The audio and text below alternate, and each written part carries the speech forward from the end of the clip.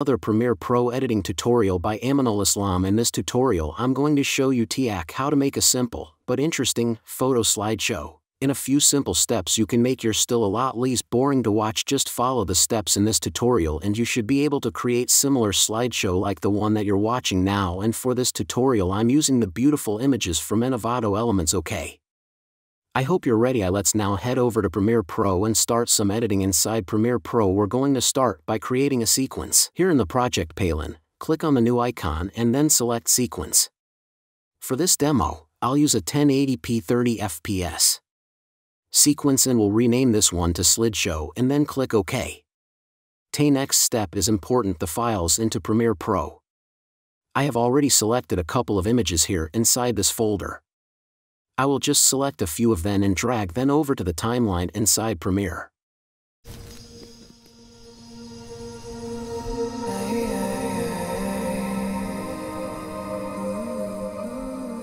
When I zoom in on the timeline, you see an AC that every image gets a 5 second duration.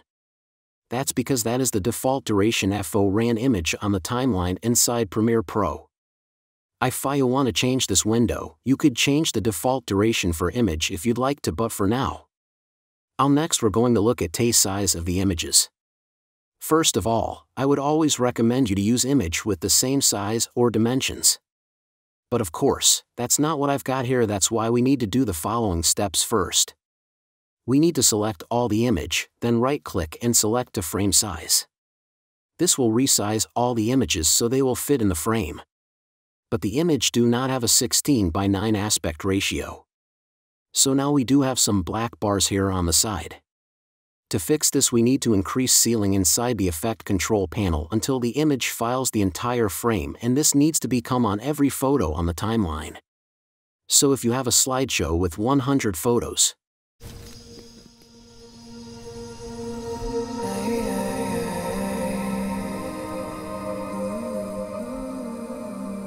minutes in the next step. We're going to duplicate all the images. We're going to select them all on the timeline hold the Alt key and drag the mouse button and then drag them up to the track above and then I'm going to disable this copy layer 4, by using the toggle switch here, for the next step, we need to deselect the images. Only select first one on the first layer. Then we're going to head over the effect panel and we're going to reach rage for the Gaussian blur effect. You will find this one under video effect. Blur and sharpen.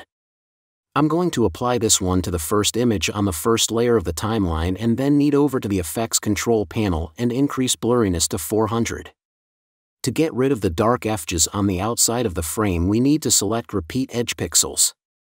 Depending on the photos you're using you might need to increase or decrease the blurriness. Anyway, it should look something like this select this effect and copy it by hitting CTRL plus C and then select all the other image on the first track off the timeline and HTI Control plus V to paste it. Now you can see that this gradient blurriness is applied to all the other image as well. Now we can turn on the second layer again by clicking on the visibility icon here. Then I will select the first image on the second track of the timeline and head over to the Effect Control panel. In here we're going to enable keyframe for scaling and then scale the images down until the top and bottom files about 90% of the frame.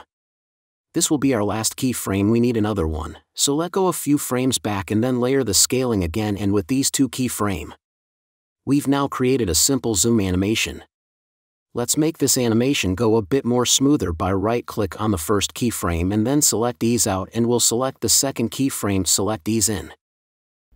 IW also moved them to the beginning and the end of the timeline and as you can see, now the foreground images zoom in very smoothly and that is also what we want for the other images. So we're going to copy the motion selection by hitting Ctrl plus C and then select all the ortho image on the second track of the timeline. You can see same smooth animation on every photo. I hope you enjoyed it and if you did then please like the video or leave a content below like always.